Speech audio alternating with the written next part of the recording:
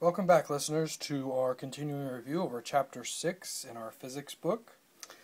Uh, this question will deal with um, our vertical motion.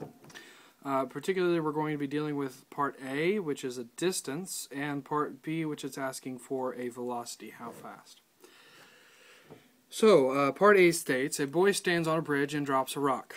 If the rock falls for three seconds before hitting the ground, how tall was the bridge?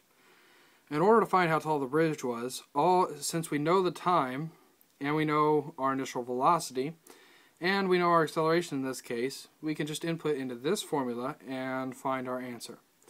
So, again, we're asking how tall was the bridge. So what we're looking for here is the distance. So, we're going to put distance is equal to, now the initial velocity. Since he's dropping the, the rock uh, and not throwing it down, the initial velocity comes to zero. So actually this whole part, 0 times time, is obviously 0. Now, when it comes to the acceleration here, the acceleration here is due to gravity.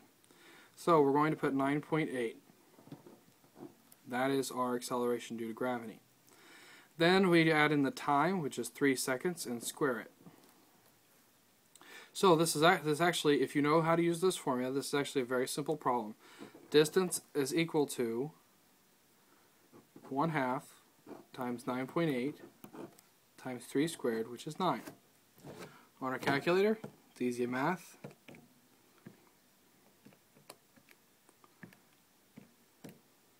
Comes out to 44.1 meters.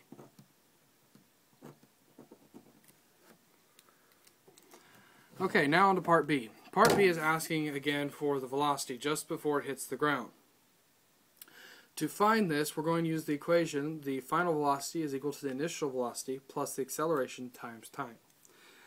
Okay, so again, it's asking for just before it hit the ground, so the, the variable that we're going to be looking for is right here, the final velocity.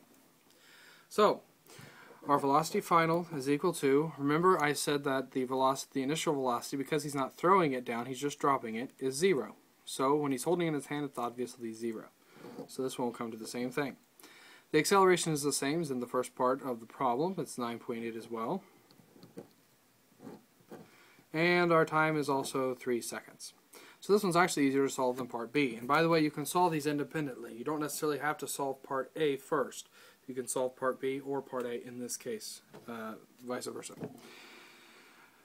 Okay, so to find our answer, we take 9.8 times 3, and that's equal to 29.4. So the velocity just before it hits the ground is 29.4 meters per second. And that concludes this problem.